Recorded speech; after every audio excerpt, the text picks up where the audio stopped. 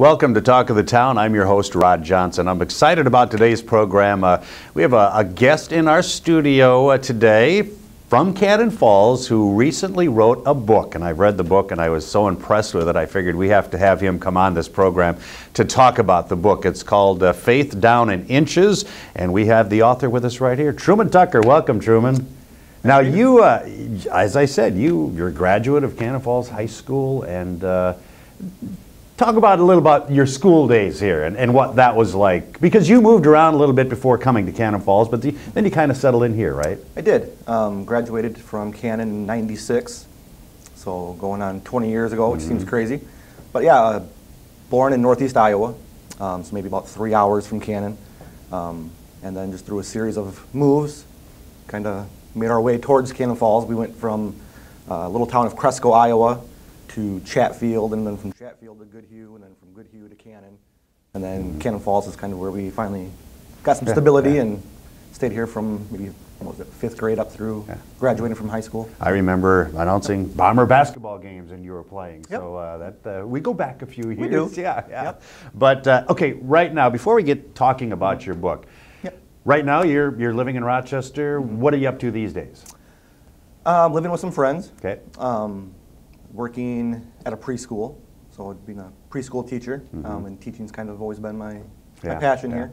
Um, prior to that, I had been a fourth grade teacher over in Wanamingo, um, so okay. trying to kind of slowly get my foot back in the door with the teaching thing, and yeah, yeah I wasn't sure I'd like the, the preschool age, going from fourth grade down to preschool, yeah, yeah. but oh, yeah, so I'm they're special. They're they are. Yeah, Got about a dozen yeah. three-year-olds that I'm in charge mm-hmm. of every day, mm-hmm. So yeah. I used to drive a school van and, and I hauled preschool kids, and uh, yep. what I liked about them, they are so honest. It's oh, unbelievable. Yeah, exactly. they come up with some good lines. Absolutely. The the book you wrote is mm-hmm. uh, again called uh, Faith Down in Inches.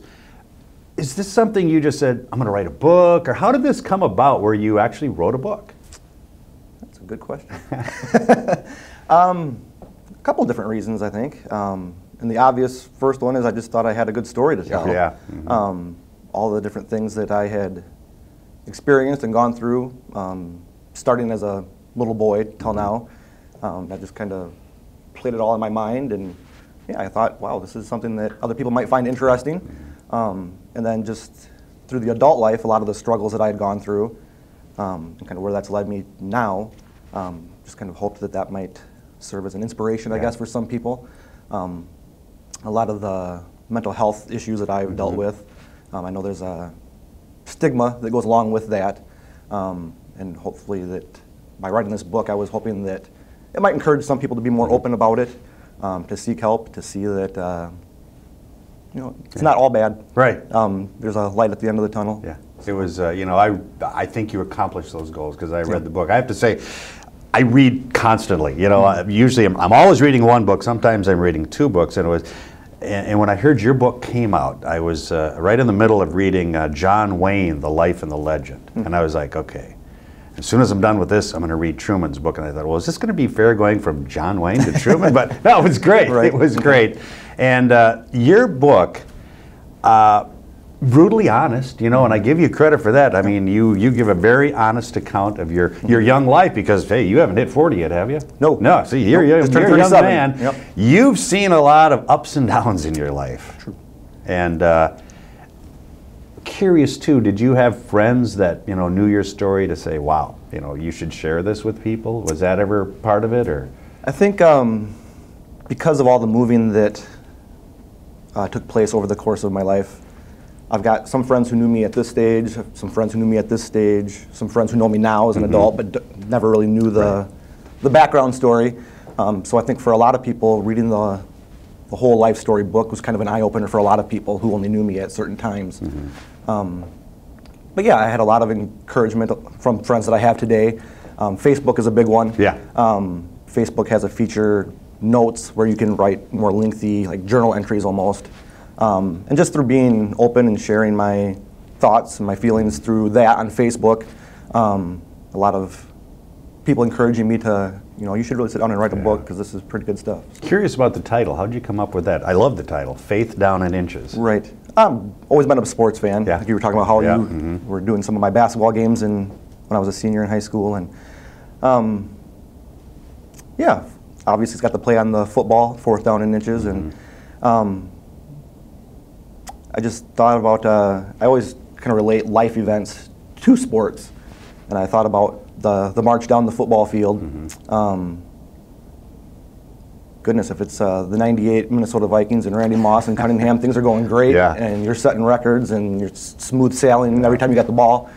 But for most people, it's not like that. Mm-hmm. Um, yeah, there's a lot of struggles in life sometimes, and you Yes. find yourself getting sacked, and you find yourself with incomplete passes, and getting hit behind the line of scrimmage, and before you know it, you know you're facing fourth down and inches, and you got to decide how to go from there. And I think that's kind of where I was. Yeah. Where I was thinking, my uh, newfound faith, I Mm-hmm. think, played a part in coming up with that title as well. Um, God kind of being the coach. Yeah. Um, so looking to the coach And, for. and, and that's a big part of the book too, is the Right. faith. Uh, and, and boy, it. Uh, Yep. I have to say, I, I really appreciate your writing skills, man. You're a, you're a very good writer. Uh, Oh. I tell you what, you start reading this book, you can't put it down because it's it's just very easy. Uh, it- you feel like you're right there with you, and uh, it is an interesting, very interesting story. It's. Uh, like I said, it's ups, it's downs, it's highs, it's lows. Uh, you went to college in Winona, right? I did, Winona Mhm. State. And then, uh, you know, we don't want to give away the whole book Sure. here, but, uh, uh, you know, after college, Mm-hmm. you're married, uh, you uh, have a family, things are going good. You've got a nice house. Mm-hmm. And then, at one part of the book Right. I, I, I, I, I kind of caught my eye too was uh, you talked about how you'd see homeless people asking for, for money. And Sure. how you in your mind thought, you know, why don't you go get a job? And did, did and you actually took job applications from McDonald's and handed it out to them? This is true. Yes.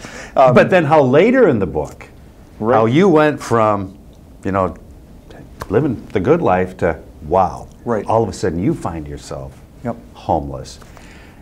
And something I never thought of, you pointed out in the book that if you're a homeless person, how do you do a job interview? And I had never thought of that. Right. How do you make yourself presentable to go interview for a job? It's one of those things where there's a lot of small pieces to it that you would never realize Yeah. until you find yourself in that situation. Um, you know, in Cannon Falls not being too far from Rochester, I'm sure a lot of local residents here have driven through Rochester and seen the Mm-hmm. hundreds of homeless people that are standing on the street corners and every intersection with their signs Mm-hmm. asking for money. And yeah, for a long time when things were going great, and Yeah. I would drive by them and just be annoyed by the situation. And like you said, I, I went so far as to pick up some applications from McDonald's and keep them in my my side there. And instead of handing them money, I would hand them an application and be like, Yeah. McDonald's is always hiring for crying out loud. What's going on? But yeah. yeah, once you've found yourself living in your car or Mm-hmm. sleeping in a parking ramp like I did in Rochester, and like, wow, I don't have a phone for them Yeah, to contact me if right. they wanted to give me an interview, and all my clothes that I have are in the trunk of my car. So how can I present myself to get a job? And yeah, Yeah. it was definitely eye opening. Yeah, and, uh, and like I say, you, the reader, you bring them right with you, and uh, you know, you you went a lot of highs and lows, you know, and uh, there was kind of a series of events that kind of brought you in a down downhill spiral, wasn't it? Um, Mm-hmm. You want me to go into some of that, If, or- if you want to, you know, because I don't know how much you want to give, Uh, to give away, but uh, just, Yeah. I mean, you had uh, family issues and you had job issues, Right. and there was just a lot of different things, and uh, Yep. kind of all hit at once, didn't it? It did. Um, I've often said that even for someone who didn't struggle with mental health issues at all, um, they, were, they were quote unquote normal, it still would have been an extremely difficult thing for that person to get through, let alone already Right. kind of having some, some issues with who you are as a person and the things that I had gone through as a child, than to have all these major losses kind of hit at almost at one time. Um, I had lost my mother um, to Lou Gehrig's disease. Um, Sheila Tucker, who Yeah. lived here in Cannon for who a lot of people. Yep, a lot of people know yeah, her. mhm. Um, so she passed away on December 23rd, uh, 2012. So just a couple of days before Christmas. And the marriage, my wife and I, Mm-hmm. we had been together for going on 15 years. Um, it had been rocky Mm-hmm. leading to that, and then my mom passed, and then found out that uh, my wife wanted a divorce and that I would need to move out, and that happened less than a month after my mom passed Wow. away. Yeah. Um, so I was still grieving that loss, and now Mm-hmm. I'm having to move away from the home I had been living in with my four young Yeah. kids. And um, like I had said, I'd been a fourth grade teacher in Wanamingo, um, which is where I went to Winona State to become a teacher. And then I had given up on the teaching thing um, and been a stay-at-home dad uh, to our four young kids. Um, my wife worked at Mayo and was pretty successful, so we were able to do that Yeah. and function just fine. But over the course of that time of being a, a stay-at-home dad, my teaching license had expired. I wasn't keeping up to date with that. Um, so then when the separation came and it was time for me to move away from the house, I had no job. I didn't have a teaching license. The house was in her dad's name, so I'm the one having to drive away from the home, and I've got nowhere to go. And just from there, you can kind of see how Yeah. things would just Yeah. escalate quickly. So here I am, uh, taking a little bit of money that I have left to go stay in a motel and try and Mm-hmm. figure out a game plan here.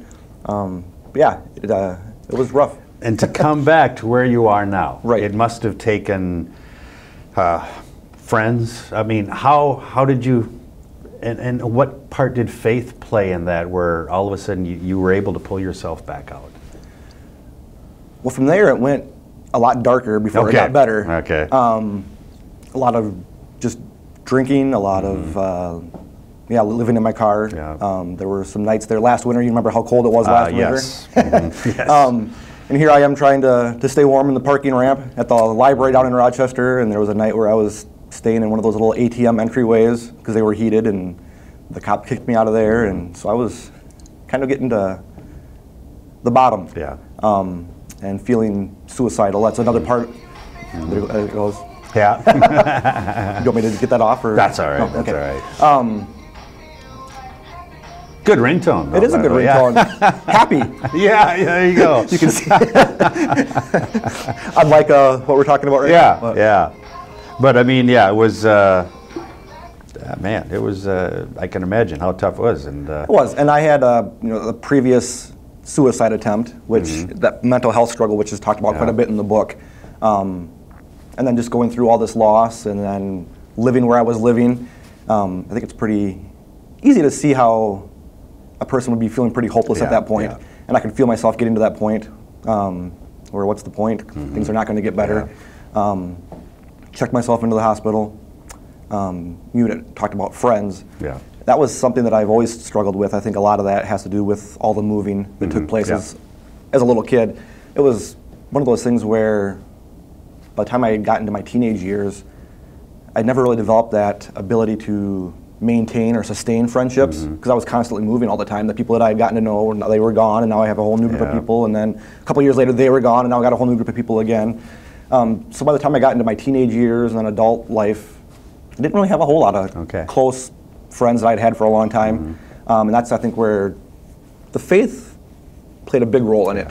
Um, had a couple of friends that, who I'm living with now. Um, they agreed to let me live in their basement, which is where I'm at now, and trying to sort of get the pieces put back together again. And um, attending their church almost for a year now, Okay. um, and just a lot of the strong church relationships. And that's Um, another thing. You went from basically no faith. no faith. Yes. Right. Exactly. And it wasn't a matter of going from no faith to where I'm at now. It was It a was a matter journey. of it was faith to no faith to back Okay, to faith again, okay, really. yeah. Because I had grown up in a in a family where both my parents were very religious, Mm-hmm. um, both Christians. My mom uh, went to Riverwood Church here in Cannon Falls every Sunday.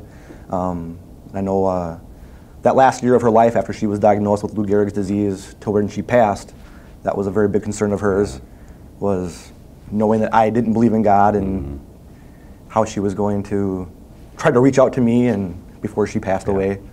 Um, that funeral service of hers that took place here in town, that was people have a hard time understanding when I say that it was an awesome event. How can a funeral service be awesome? Because I it was one of those things where I wish I would have had it videotaped so I could go back and watch it again because it was so inspiring. It was more of a celebration of her um, than a sad event. Yeah. And she had had a year to plan her own funeral service. So she sat down with her pastor and had all the passages out of the Bible that she wanted read, had all the songs handpicked that she wanted sung, and at the very end, she had a message about wanting to see her family again one day. Um, And And that had to have hit home to you. it hit home. Yeah. Um, sitting there in the church, no one actually turned around and physically looked at me, but I could just feel the rest of my family like, you know, truly, Yeah. this is Mhm. directed towards you. Yeah. Um, and I think it was almost a way of honoring my mom, or just kind of a feeling of obligation that even if I wasn't going to just automatically believe in God the next day. Right. That I was going to at least give it another shot. Yeah. Um, and just through that, starting to attend church again, and it just kind of went from there. And, and, and another thing I took out of your book that I, it never occurred to me as much, but you talk about some tragedies in life, Mm-hmm. and at the time they're tragedies. But then you said, you know, you look at them later, and they're really miracles. They can be. You know, yeah. Right. And I thought, wow, that's Yep. uh, that's really something to, to look at it that way. And and, Right. and you're right. Yeah. Uh, the end result is, you know, like we just seen with you. Right. Uh, amazing. Well, when you're in the middle of the tragedy, you don't always. Right. You can't see the where it's going to go from there. You're kind of stuck in the here and now, and Yeah. things are a mess. And it's not until you've gotten through that and you can look back on it and see how God was at play there and help to get you to where you are now. It's uh, Yeah.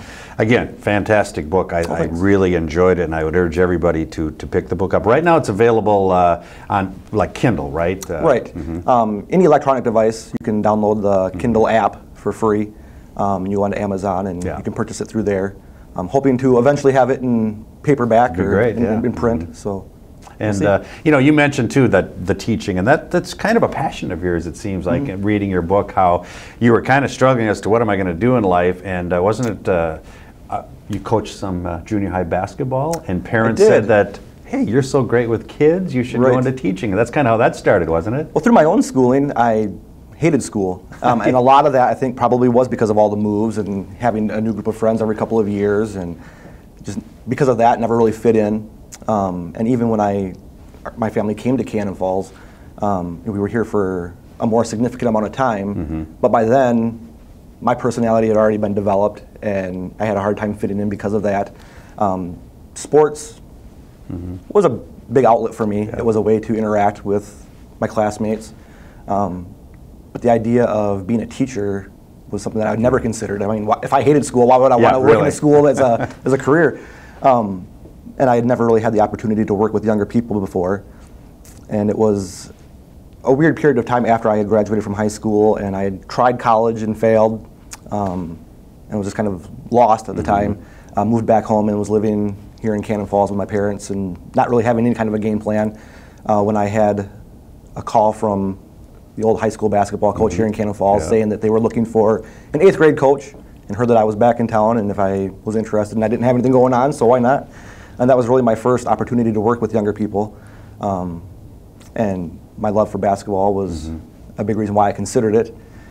Was I the greatest coach? No. Uh, I don't know the game that well, t- but I think just uh, to see the fun that the kids were having, playing for me and showing up every day for practice, and to hear the the parents come up to me towards the end of the season and just tell me how much fun their son had playing for me that year, and had I ever considered working with kids, and I laughed it off at first, Yeah. um, but just kept thinking about it in the back of my mind, and the more I thought about it, the more it seemed to make sense, and which is what drove me to go back to school to be a teacher. So, Mm-hmm. yeah. And uh, I think, yeah, you, you can tell you still enjoy the working with the kids. I do, you? And you have much. four beautiful kids. Oh, thanks. You Yep. do. I mean, I see some of the pictures on Yep. Facebook, and uh, Yep. uh, boy, they're great.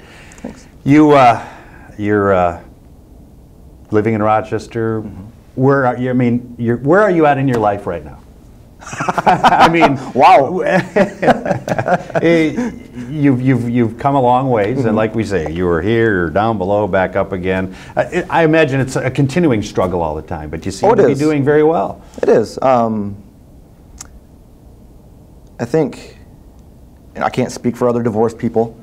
Um, I think 15 years with the same person is a significant amount of time. Mm-hmm. Um, we started dating when I was 21, divorced when I was 36, um, four kids with her. Yeah. Uh, so that was a very difficult transition.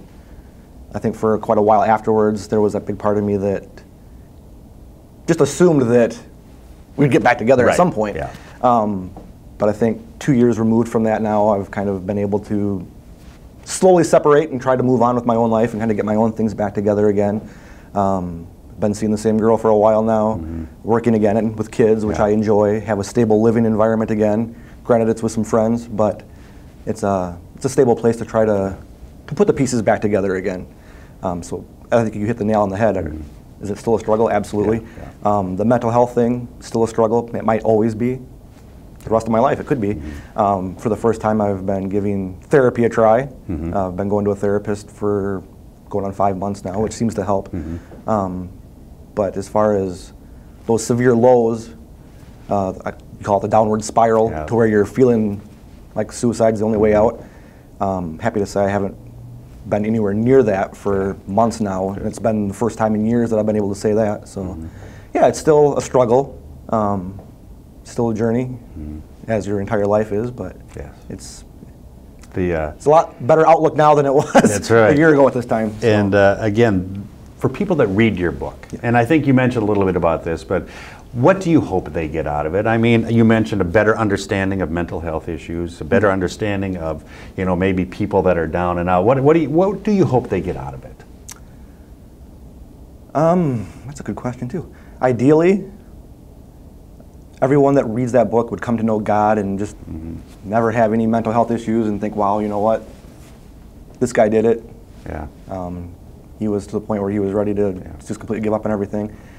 Now, is everybody that reads that book going to take that take away from that? Probably not. But just uh, like I said earlier, just kind of to serve as a source of inspiration to see that even someone like me who was at that point, Yeah. that if you can get through it, if you can find whether it's whether it's faith or anything else, um, just find something to live for and stick it out. It's Yeah. yeah, just a matter of time before things start to turn around. I want to I want to thank you for writing that book because I mean, you read this book, I can tell it came from your heart, and Right. like I say, you were brutally honest. And uh, Well, I mentioned in the book too that I've never considered myself a writer. Yeah. Um, and the people that have read it have come back to me and said, "Really? Because Oh, yeah. because you write very well." like I said, I'm waiting for your next book. You're such a great writer. and I don't know that there'll ever be one because this book, Yeah, right. This book really wrote itself. Um, and it's not a long book, about 170 Yeah. pages or so. But I read it, or I read it, I wrote it in less than a month.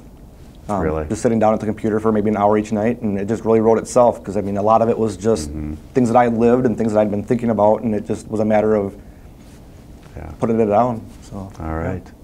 Well, again, the uh, book is called Faith Down in Inches. And uh, Truman, thank you for uh, taking a few minutes Oh, to be sure. with us today. And again, uh, we hope I again highly, highly, highly recommend that you that you get this book. And the best way, Truman, to get is probably Amazon or something like that. Right. Uh, download it on your your Kindle or your device. And uh, Yep. hey, who knows? We uh, we get enough people to do that, we'll get it in uh, in print form pretty We'll see it soon. at Barnes and Noble someday. Maybe There you that'd be awesome. Yeah, yeah. All right. thanks, Again, thank you so much. Truman Tucker has been our guest today, author of Faith Down in Inches. You can find it on Amazon or other outlets and, and get it on your Kindle. And again, highly recommend this book. It's, uh, it's a wonderful book about his life's journey. Uh, thanks for watching this edition of Talk of the Town. Thanks again to Truman. I'm your host, Rod Johnson.